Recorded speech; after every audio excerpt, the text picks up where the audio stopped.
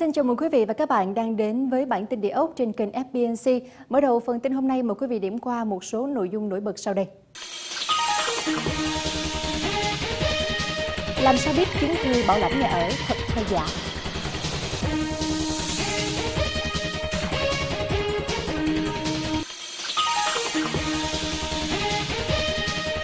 Anh Quốc đầu tư vào phân khúc nhà ở cho sinh viên tăng mạnh.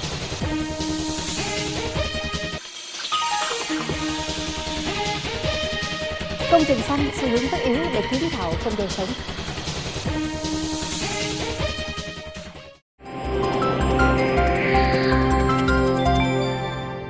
Mới đây, Bộ Kế hoạch và Đầu tư vừa kiến nghị Thủ tướng cho phép nhà đầu tư dự án sân golf và dịch vụ Tân Sơn Nhất được triển khai tiếp dự án mà không cần phải thực hiện lại thủ tục xin chủ trương đầu tư. Theo Bộ Kế hoạch và Đầu tư, với luật đầu tư năm 2014, quy định dự án của nhà đầu tư trong nước đã được Thủ tướng cho phép thực hiện trước ngày 1 tháng 7 năm 2015, tức ngày luật này có hiệu lực, thì không phải thông qua thủ tục đăng ký cấp giấy chứng nhận đầu tư, quyết định chủ đầu tư. Do đó, Bộ Kế hoạch và Đầu tư kiến nghị Thủ tướng cho phép dự án đầu tư sân golf và dịch vụ trong sân bay Tân Sơn Nhất được tiếp tục triển khai mà không cần phải thực hiện lại thủ tục xin chủ trương đầu tư. Đồng thời, kiến nghị Bộ Quốc phòng giám sát việc triển khai dự án. Trước đó, chủ đầu tư dự án sân golf trong sân bay Tân Sơn Nhất là công ty Long Biên đã có văn bản gửi các bộ đề xuất được tiếp tục triển khai dự án mà không phải làm lại thủ tục xin chủ trương đầu tư. Bộ Quốc phòng cũng đã đồng ý với đề xuất này. Dự án khu phức hợp tháp quan sát Thủ Thiêm 86 tầng tại khu đô thị mới Thủ Thiêm, thành phố Hồ Chí Minh vừa chính thức được động thổ tuần qua. Dự án có tổng vốn 1,2 tỷ đô la. Theo quy hoạch, khu Thủ Thiêm vừa được công bố trước đó sẽ có một dự án tháp quan sát cao tầng. Sau một thời gian gọi vốn, dự án này đã có chủ đầu tư và được động thổ hôm ngày 2 tháng 10. Tháp quan sát này cao 86 tầng nằm trong dự án khu phức hợp Thủ Thiêm Empire City với tổng vốn đầu tư 1,2 tỷ đô la, bao gồm tổ hợp khách sạn 5 sao, khu dân cư, khu thương mại với tổng diện tích 15 hecta. Chủ đầu tư là liên doanh công ty Denver Power Limited của Anh thuộc tập đoàn tài chính Gore Capital Partners và hai công ty trong nước là Tiến Phước và Trần Thái. Liên doanh này ký quỹ 35 triệu đô la Mỹ cho thành phố Hồ Chí Minh và đang hoàn tất thiết kế chi tiết để bắt đầu xây dựng từ năm 2016. Hiện khu đô thị mới Thủ Thiêm đã có một số công trình đã khởi công gồm 4 tuyến đường chính, khu quảng trường trung tâm công viên Sài Gòn được khởi công năm 2014, cầu Thủ Thiêm 2 khởi công tháng 2 năm 2015 và dự án hạ tầng kỹ thuật khu dân cư phía Bắc Thủ Thiêm và đường trục Bắc Nam. Sau thành công của blogger Conic Skyway Residence, công ty Lĩnh Phong Conic tiếp tục công bố mở bán căn hộ Block H vào ngày 10 tháng 10 tại phía nam thành phố. Dự án Conic Skyway Residence thời gian qua thu hút nhiều khách hàng sau khi bán thành công 170 căn hộ của Block G chỉ trong một thời gian ngắn. Hiện 170 căn hộ này đang trong giai đoạn hoàn tất để chuẩn bị bàn giao ngay trong cuối năm 2015. Tiếp nối thành công này, chủ đầu tư là công ty Lĩnh Phong Conic tiếp tục mở bán chính thức Block H, Conic Skyway Residence. Đợt 1 mở bán Block H gồm 96 căn với diện tích từ 56 đến 92 m2, từ 1 đến 3 phòng ngủ. Tòa nhà cao 19 tầng được thiết kế hình ellipse với mái vành vòng cung, vừa tạo sự thanh thoát cho tòa nhà, vừa tận dụng được tối đa nguồn sáng tự nhiên và luồng gió trong lành từ phía nam thành phố. Hiện giá bán căn hộ được tính với giá 14,1 triệu đồng một mét vuông, đã bao gồm VAT, phương thức thanh toán linh hoạt, chỉ thanh toán 10% ký hợp đồng mua bán ngân hàng hỗ trợ vốn đến 75% giá trị căn hộ trong vòng 20 năm. Cũng tại sự kiện mở bán, chủ đầu tư cũng có chương trình bốc thăm trúng thưởng với nhiều phần quà giá trị. Với căn hộ Block H, chúng tôi cam kết sẽ tiếp tục hình thành nên chuỗi sản phẩm căn hộ đảm bảo về tiến độ cũng như chất lượng cũng như hợp lý phù hợp với nhu cầu và thị hiếu của khách hàng để chúng tôi đón chào thêm các cư dân mới gia nhập vào cộng đồng khu dân cư Cô Lích góp phần hình thành nên khu dân cư kiểu mẫu tại khu Nam thành phố. Dự án Conic Sky Residence gồm hai block nằm ngay cửa ngõ lối vào khu DC Conic. Dự án tọa lạc ngay mặt tiền đại lộ Nguyễn Văn Linh, huyện Bình Chánh thuộc khu Nam Sài Gòn.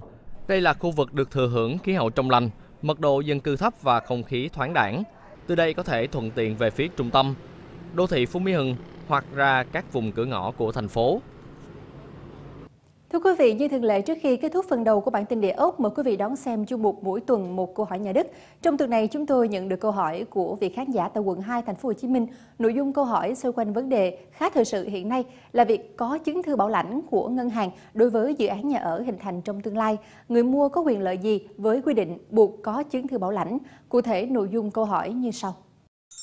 Hiện nay trên thị trường có nhiều dự án tiếp thị có ngân hàng bảo lãnh. Tôi đã xem qua một số dự án và muốn mua nhà.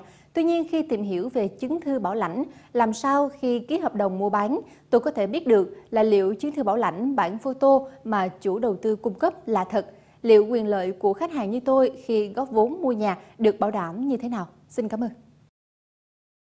Ngay sau đây, luật sư Huỳnh Văn Nông, giám đốc công ty luật SH Law sẽ giải đáp thắc mắc của quý khán giả. Bạn xem đài thân mến, ờ, trường hợp của bạn thì ờ, theo quy định của pháp luật về bất động sản như là luật ờ, nhà ở thì ngoài các cái điều kiện mà bán nhà ở hình thành trong tương lai như là cái tiến độ xây dựng và các cái điều kiện khác còn có một cái điều kiện quan trọng nữa mà luật kinh doanh bất động sản mới được đề cập tại điều 56 của luật À, rằng là cái ờ, việc mà chủ đầu tư muốn bán nhà ở hình thành trong tương lai thì phải có một cái tổ chức tín dụng đứng ra à, bảo đảm cái việc à, bán cái nhà ở này.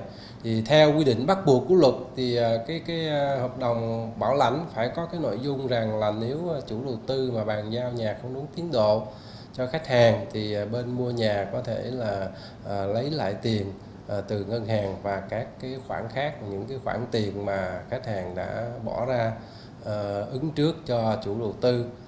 Thì ờ, một cái điểm nữa thì theo tôi thì bạn nên lưu ý rằng xem kỹ cái nội dung của cái hợp đồng bảo lãnh với lại cái hợp đồng mà bán nhà ở hình thành trong tương lai là các cái điều khoản nó có tương thích với nhau hay chưa.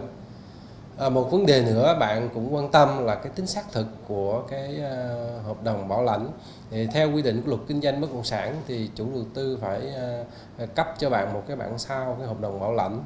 Uh, tuy nhiên là bạn uh, nếu bạn có nghi ngờ về cái tính xác thực của cái hợp đồng bảo lãnh này thì bạn có thể đến cái ngân hàng mà đã cấp cái hợp đồng bảo lãnh À, với tư cách là người được thụ hưởng trong hợp đồng bảo lãnh để xác minh cái tính xác thực là có hay không có cái hợp đồng bảo lãnh này à, một vấn đề nữa mà nếu như à, khách hàng mà phát hiện được rằng là chủ đầu tư là cung cấp cái à, hợp đồng bảo lãnh giả hoặc là hợp đồng bảo lãnh không đúng thì à, người mua nhà có thể là tố cáo chủ đầu tư đến cơ quan công an để điều tra về hành vi lừa đảo.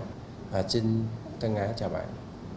Quý vị vừa theo dõi chương mục mỗi tuần một câu hỏi về nhà đất, mọi thắc mắc cần giải đáp về các vấn đề liên quan đến nhà đất. Quý vị vui lòng gửi vào hộp thư bản tin địa ốc fbnc.gmail.com. Chúng tôi sẽ lần lượt chuyển đến các luật sư chuyên ngành để giải đáp trong các bản tin địa ốc phát sóng hàng tuần. Quý vị cũng có thể xem lại các giải đáp thắc mắc của luật sư tại mục những câu hỏi liên quan đến nhà đất trên youtube.com suyệt FBNC Việt Nam. Chương mục mỗi tuần một câu hỏi về nhà đất vừa rồi cũng đã khép lại phần 1 của bản tin địa ốc. Mời quý vị tiếp tục giữ kênh để chúng ta đến với phần 2 của chương trình.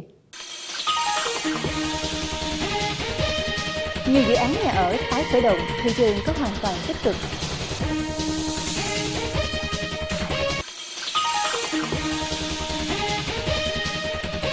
Anh Quốc đầu tư vào phân khúc nhà ở cho sinh viên tăng mạnh.